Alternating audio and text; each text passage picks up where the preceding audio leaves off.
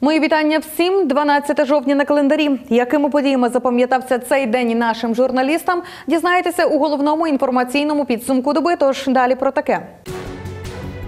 Прощання із героєм, чергова втрата, довгоочікуваний ремонт, переваги децентралізації, уберегтися від грипу, епідемічний процес на Закарпатті, вакцинація проти сказу, авіаційні польоти, якість медичних послуг, сільська амбулаторія, різке похолодання, температурний режим у школах, зустріч у Єрусалимського патріарха, Закарпатці на святій землі, екологічне зібрання, громада за чисте довкілля. Сьогодні в Ужгороді прощалися із загиблим на сході військовослужбовцем збройних сил України Давидом Гамсахурдія. Родом із Грузії разом із сім'єю він переїхав жити на Закарпаття, а в самий розпал війни не став осторонь та пішов служити до війська. Важко поранений, борючись за власне життя декілька тижнів, Давид помер у одній із лікарень Дніпра. Як прощалися із героєм Ужгородці у сюжеті. Більше сотні ужгородців, а також рідних, близьких та побратимів по зброї загиблого на сході України військовослужбовця Давида Гамсахурдія зібралися, аби віддати шану та провести полеглого в останню дорогу. Церемонія прощання відбулася біля обласного музично-драматичного театру за участі священнослужителів різних релігійних конфесій. Благословен єси, Господи, научи нас оправданням Твоїм. Прийшли попрощатися зі своїм бойовим побратимом і військовослужбовці 15-го гірсько-піхотного батальйону, де й проходив службу Давид. кажуть, таку людину потрібно ще знайти. Відважний та безстрашний. Він завжди стояв на передовій та не боявся смерті. Хочу сказати за Давіда, що це був воїн серйозний, правдивий і йшов за нашу землю. Хочу сказати, що він дуже був порядний і хороша людина. Давид Гамсахурдія родом із Грузії. Коли в країні розпочалась війна, він разом із сім'єю переїхав жити на Закарпаття. Однак війна і тут знайшла героя. Давид, для якого Україна стала другою рідною домівкою, вирішив не стояти осторонь та добровільно пішов у Збройні Сили України, підписавши контракт. Після чого, як військовослужбовець в складі 15-го гірсько-піхотного батальйону, потрапив до зони АТО. В четвертому місяці, квітні місяці 2016 року, він прибув до Ужгородського військового комісаріату, де е, підписав контракт і був направлений до 15-го гірсько-піхотного батальйону, де і проходив службу на посаді заступника командира бойової машини навідника оператора. 16 вересня Давид отримав важке поранення. Лікарі клінічної лікарні імені Мечникова в Дніпрі довго боролися за його життя. Однак травми, завдані внаслідок обстрілу сепаратистів, не були сумісним життям. Поховали полеглого у війні героя, як годиться, на пагорбі слави в Ужгороді. Минув майже місяць із того часу, як уряд України затвердив державний бюджет України на 2017 рік та передав основний фінансовий закон на розгляд Верховної Ради. А з моменту його оприлюднення серед політиків відразу виникли суперечки стосовно реальних можливостей його виконання. Наші журналісти продовжують цікавитися думкою закарпатців, на що, як кажуть люди, мають бути спрямовані кошти платників податків, простіше кажучи, народні гроші. Ми вже розповідали про те, що ужгородці кажуть, кошти потрібні на підняття заробітних плат та пенсій, розвиток промисловості. Зараз запитали думку жителів Воловеччини та Тячівщини, як вони оцінюють запропонований владою державний бюджет та куди першочергово потрібно направляти кошти. Думаємо, що буде покращення, тому що у нас заробітня плата дуже малесенька, хотіло б нам щоб була більша. І обоє якась щось новості якісь були по слові. Кращі. Кращі, не так як тепер. Сидіти в кабінетах і нічого не робити. цільові галузі, да, десь освіта, медицина, щоб саме на них пішло краще фінансування і, і правильне фінансування. У мене менший брат навчається в школі. Я, я просто я удивлен дуже тим, як наскільки підручники кожен рік перевипускаються. Я дивлюсь, фінансів дуже велика кількість виділяється, але по суті нічого не міняється. Просто велика обложка міняється на малу обложку, формат міняється. Програму, ту, яка вже застаріла, ту, яку вже взагалі недоцільно вивчати, тим більше, наприклад, елементарна теорія Дарвіна, які виділяють 5 годин, в яку Україна як християнська країна давним-давно не вірить, для чого їй взагалі 5 годин виділяти в школі на неї. Той самий підручник протягом 5 років друкувати, нічого не міняючи. Тобто дуже є багато того, що треба просто вже вирізати давним-давно, так як ми вже переросли, я думаю, як розумні люди. І ну, саме в цій галузі, я думаю, медицина, плюс лікарі, забезпечення. Це, це краще ці галузі забезпечувати. Йо, я ніч не вичікую. А що робити? Ціни повишаються, повишаються, а пенсії зовсім ні, та все, що робити? Та чекаємо ліпше, а це буде то ліпше, це не буде, б- час покаже. Та обіцяють усе, та найби було, найби було. Буде ліпше, буде ліпше. Усе новий прем'єр, буде то краще, а то все хуже. Обіцяли ліс не різати. Ліс рубають, возять і далі то це продовжує. І тут маєте яму через то. Машини ходять тя, тя, тя, тя, тяжкі з лісом і, пожалуйста. Освіту, медицину, споживчий кошик людський. на, на людей, в першу чергу, на людей, е, аби люди мали жити, бо могли жити люди по-людськи. Мені це каже в першу чергу на зарплату, бо не вистачає, в принципі, зарплат е, у нас маленькі, а ці- ціни категорично йдуть е, вверх. На Закарпатті затримали лісників, які за вирубку та експорт лісу збирали побори із підприємців. Вчора під час отримання чергового траншу хабара сумою у 6 тисяч гривень від місцевого підприємця посадовців затримали.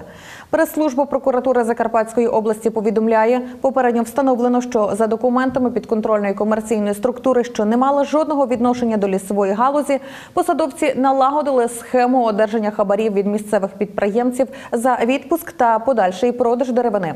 Грубо порушуючи законодавство із охорони праці, видавалися дозволи на техніку, а до проведення небезпечних робіт на лісосіках допускалися працівники приватних підприємств. Серед іншого встановлено, що до вказаної схеми причетний чиновник управління Держохоронпраці. Розпочато кримінальне провадження за одержання неправомірної вигоди службовою особою. Тривають невідкладні слідчі дії, спрямовані на документування протиправної діяльності посадовців. На Закарпатті прикордонники виявили майже три тисячі пачок цигарок. Вчора неподалік населеного пункту Ділове Рахівського району військовослужбовці за допомогою переносного тепловізора виявили автомобіль, що зупинився неподалік від кордону. З нього вийшли двоє невідомих осіб із пакунками та направилися у бік держрубежу. Але як тільки побачили прикордонників, кинули ящики і вдалися до втечі. У ході подальших пошукових заходів виявили шість пакунків, загорнутих у чорні поліетиленові пакети, де знаходилося 2900 пачок сигарет, повідомляє прес-служба Мукачівського прикордонного загону. Муніципальна поліція Ужгорода виявила 25 незаконно встановлених обмежувачів руху. Протягом останніх двох тижнів за зверненнями громадян та працівників екстрених служб правоохоронці проводили обстеження та перевірки для виявлення незаконно встановлених у місті обмежувачів руху, шлагбаумів, залізобетонних конструкцій тощо на дорогах загального користування. 11 жовтня зробили чергову таку перевірку спільно із представниками управління патрульної поліції в Ужгороді та Мукачеві. Перевірили вулиці мікрорайону Черваниця, прилеглі до корпусів Ужну на а також вулиці Нікітіна, Сливову, Горіхову, Озерну, Щедріна та інші. Зараз готують проект рішення на засідання виконавчого комітету про демонтаж самовільно встановлених конструкцій.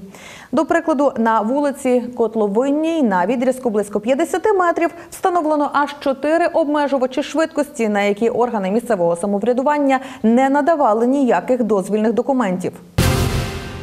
На Тячівщині продовжують приводити до ладу автошляхи. Цього разу капітальний ремонт дорожнього покриття проводять у селі Лази. Про вартість та темпи робіт у сюжеті далі. Капітальний ремонт дороги в Тячівських лозах не проводили з 1989 року. 27 років саме стільки село чекало, щоб знову оцінити якісне асфальтоване покриття. Добиратися до лазів та округлої було дуже важко. Сюди через стан дороги не їздили ні автобус, ні навіть швидка допомога. Дорога зроблена ще в 70-х роках минулого століття. Спочатку 90-х на неї, за словами сільського старости, держава гроші не виділяла. Після того на дорогу зовсім нічого не виділялося. Своїми силами, що могли. Я, наприклад, е, вже в 90-х роках, е, е, не в 90-х практично, не- де ж підсипали гравієм, де ямка була, тому що не було. У 2007 до 2007-2009 за два рази зробили ямковий ремонт на протязі трьох кілометрів. Загальна протяжність дороги, яка потребує ремонту, близько 15 кілометрів. Це відстань від Тячева до центру села Округла. За 10 місяців, протягом яких ведуться роботи, вже зроблено 3,5 кілометри. Загальна кошторисна вартість цього велика це е, 16 мільйонів, бо протяжність її, її практично складає 14, 13-14 кілометрів. І ось буквально на днях на цю ділянку з державного бюджету виділили ще 1 мільйон гривень. Це кошти, які були отримані нами за сприяння народного депутата Василя Васильовича Петьовки. І я думаю, жителі міста, і я, як е, керівник об'єднаної громади, завдячуємо йому за порозуміння, бо це питання є самим основним. Важливим відновлення цієї дороги є ще з однієї причини. Вона веде до санаторію Чорна вода, який через стан доріг на сьогодні є заповненим лише на 10%. За словами голови Тячівської об'єднаної громади, це дозволить відновити на повну роботу туристичної бази, що збільшить кількість туристів у регіоні і надасть додатково 50 робочих місць. Тому варто сподіватися, що невдовзі всі 15 кілометрів дороги будуть відремонтовані. Закарпатець на мерседесі насмерть збив жінку, яка йшла посеред дороги. За цим фактом розпочато розслідування. 11 жовтня увечері у поліцію міста Виноградова надійшло повідомлення про те, що у селищі Королево машина збила людину. На місці події працівники поліції встановили, що 58-річний водій мікроавтобуса Мерседес Спрінтер, житель Хуста, рухаючись по автодорозі від села Текову у бік селища Королево, допустив наїзд на пішохода 59-річну жительку Текова. Жінка йшла серединою дороги, і водій запізно помітив її у темряві. Експертиза засвідчила, що водій був тверезий. Від отриманих травм потерпіла померла на місці пригоди. Обставини ДТП встановить слідство. У Хусті зіткнулися два мікроавтобуси, четверо людей у реанімації. Автопригода із важкими наслідками сталася вчора пізно ввечері у Хусті біля місцевої АЗС на вулиці Івана Франка. Зіткнулися мікроавтобуси Мерседес Спринтер і Опель Віваро. Внаслідок ДТП в реанімації опинилися обидва водії з Хустського та Тячівського районів і ще двоє пасажирів. Стан ще п'ятьох потерпілих трохи легший. Вони перебувають на стаціонарному лікуванні у Хустській лікарні.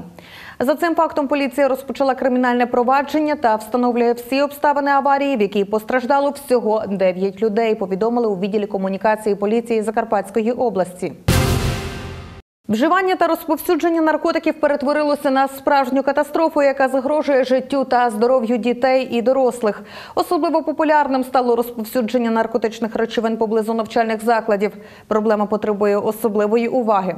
Повідомляйте про випадки розповсюдження та торгівлі наркотиками, аби надати їм розголосу у пресі та звернути увагу правоохоронців. Дзвоніть нам за телефоном довіри 067 311 72 77. Анонімність гарантуємо. Думаю, збільшується хлопці. Тому що тепер взагалі стало все доступно. Гроші маєш, получаєш, що хочеш. Тобто ви думаєте, що наркотики доступні? Да. Я навіть уверена в тому. На місці. На жаль. Так недавно спіймали на заправці.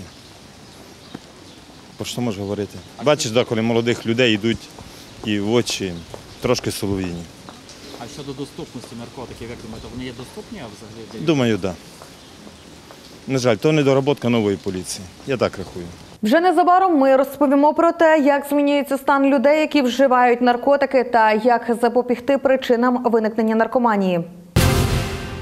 На Закарпатті через грип за тиждень госпіталізували 87 осіб, а до лікувальних закладів із ГРВІ звернулося більше двох тисяч краян.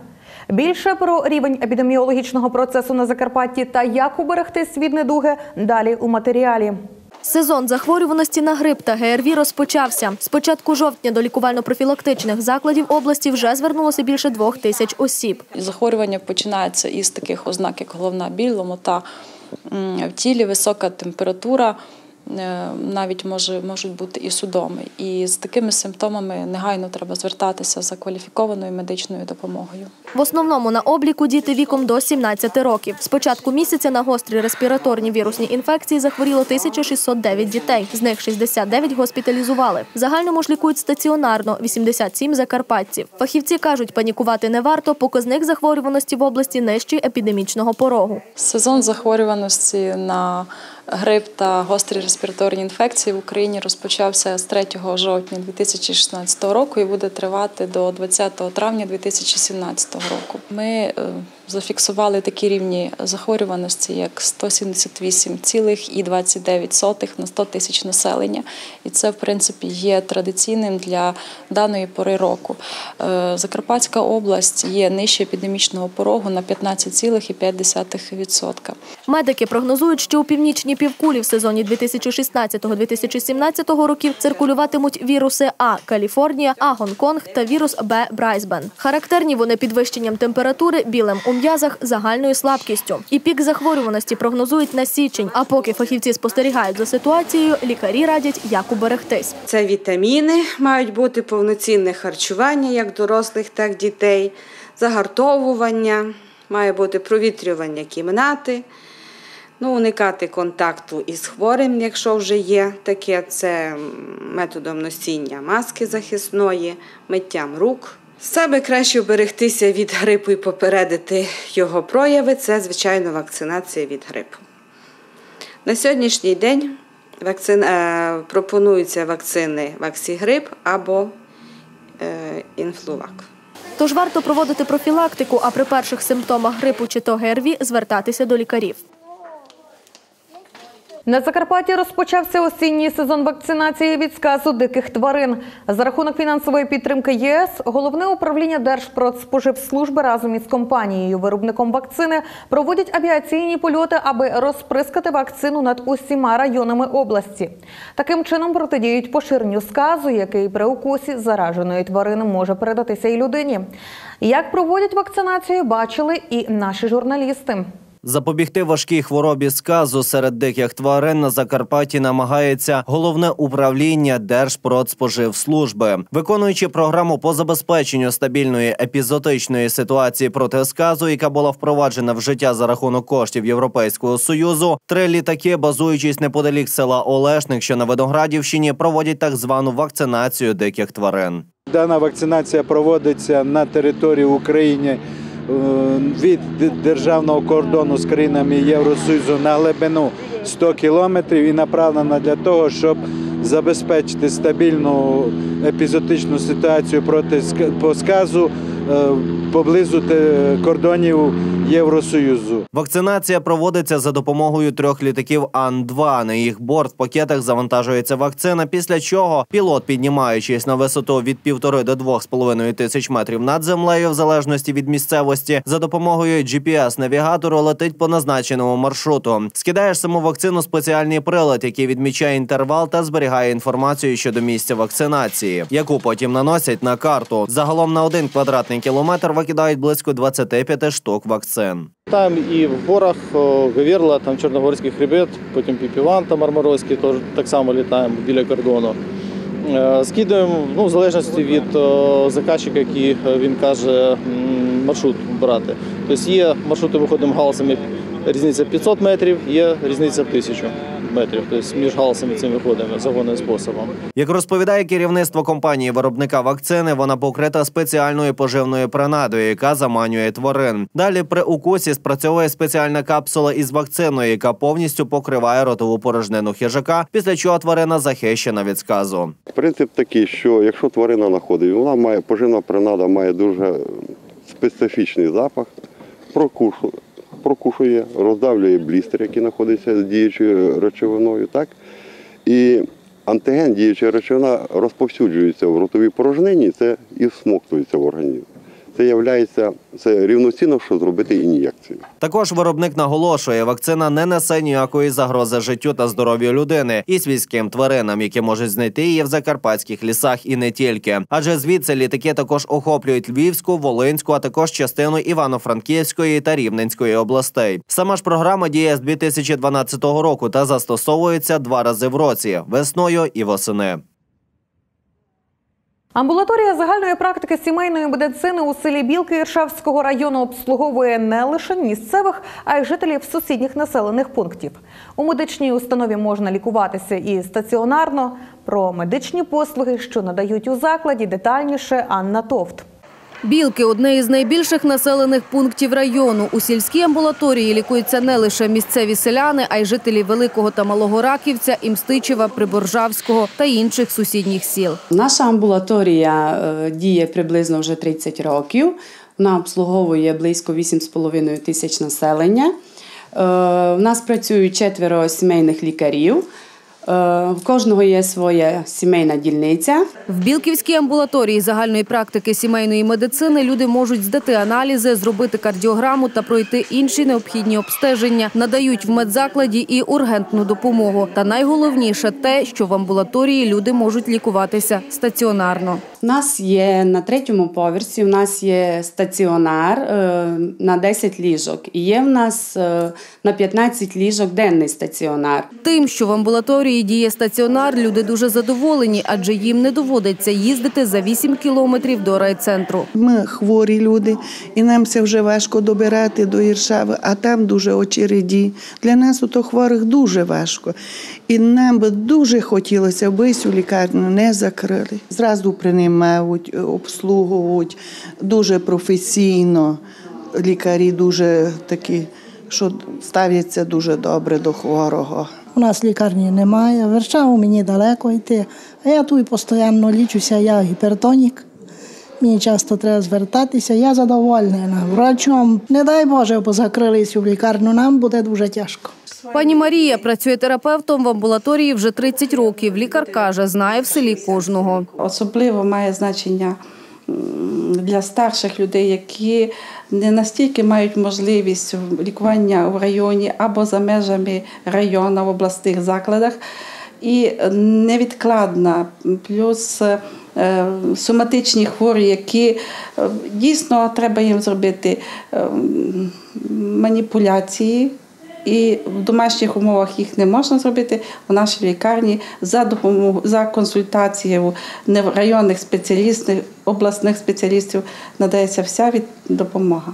Починаючи від банальної застуди і закінчуючи такими небезпечними хворобами, як рак, лікують у сільській амбулаторії. У стаціонарі лежать і онкохворі, гіпертоніки, хворі після інсульту із запаленням легень і серцево-судинними недугами. При потребі в медзаклад викликають лікарів із райцентру. Ми маємо можливість викликати лікаря з Іршави, ну, проконсультуватися. Маємо можливість повести хворого на до обстеження. В амбулаторії є всі умови для того, щоб люди отримували якісне лікування. Для тих, хто лікується тут стаціонарно, працює кухня. Хороша матеріальна база, плюс хороша кухня.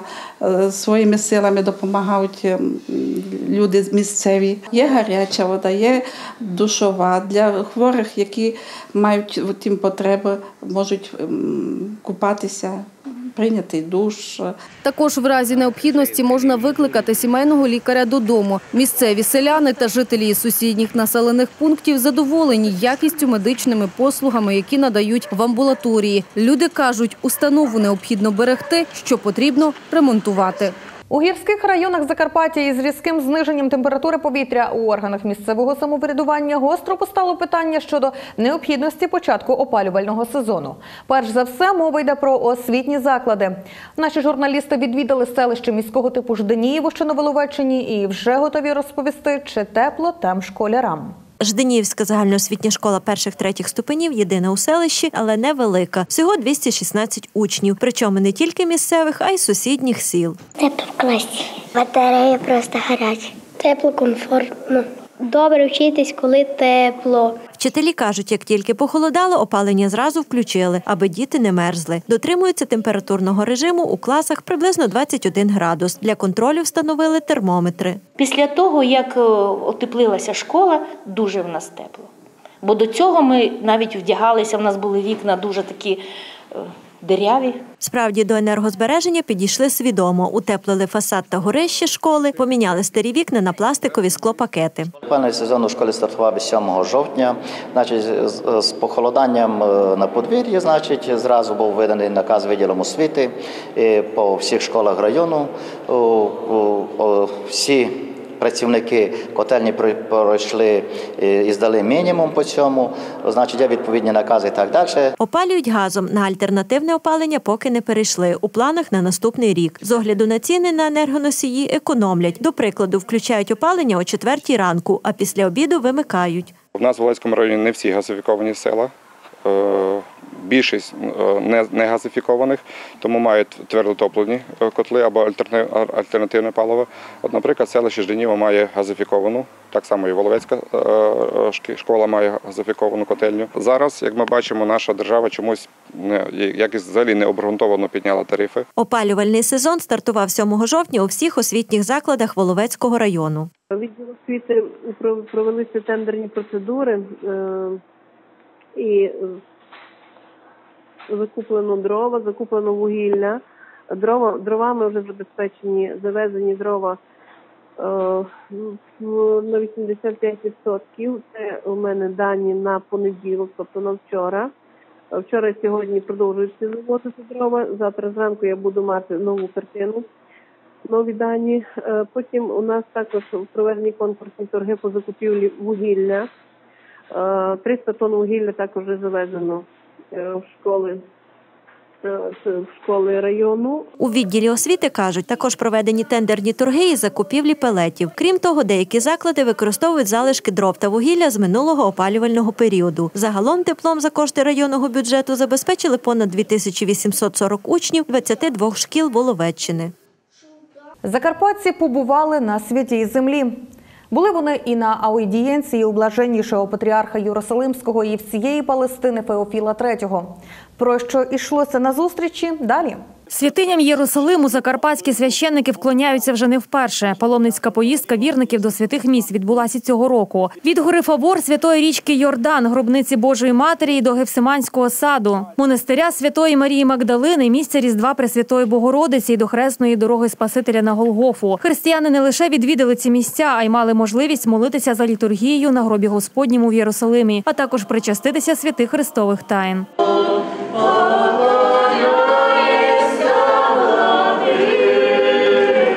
Також відбулася зустріч паломників, які представляли різні міста України та інші країни з блаженнішим патріархом Єрусалимським і всієї Палестини Феофілом III. Ваше паломництво це особливе благословення, і не лише для нашої церкви, а й для нашого народу. Те, що робить нашу землю святиною, це той факт, що Христос тут народився, творив свої дива. Його тут поховали, тут він і воскрес. З того часу ці місця стали святими. На думку блаженнішого патріарха, Єрусалим по праву вважають духовною столицею всього світу. Ці місця без сумніву джерело особливої благодаті та натхнення.